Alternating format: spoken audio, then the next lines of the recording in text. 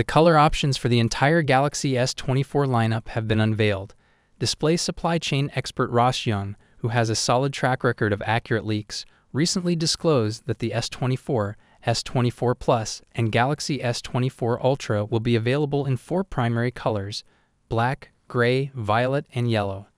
In addition to these four core colors, Samsung will also offer exclusive hues on their website, including orange, light blue, and light green.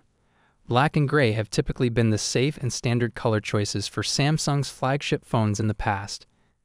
The addition of violet and yellow is intriguing, as these shades have not been prominent in Samsung's recent releases. Samsung has been leaning towards monochrome options, so this diversification in color choices for the S24 lineup represents a change in strategy. It's worth noting that the S24 Ultra features a titanium frame, which might affect the way these new colors appear on the device. Moving on to the Snapdragon 8 Gen 3 chip, recent leaks suggest that it outperforms its predecessor, the 8 Gen 2, significantly. The improvements are notable, with a 35% boost in CPU performance and over 40% enhancement in graphics performance. This is a substantial upgrade and may lead to a more powerful and efficient smartphone experience.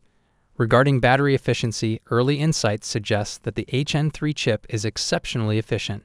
Some even describe it as almost perfect. Given the impressive battery life already delivered by the 8 Gen 2 and the S23 Ultra, the potential for further battery optimization in the S24 Ultra is promising.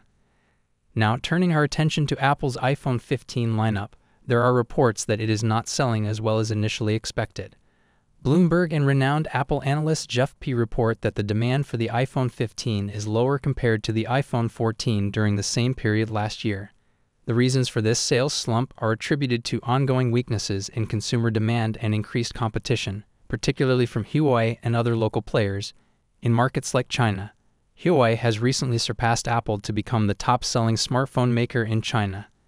Analysts predict that Huawei's ascendancy will continue into 2024.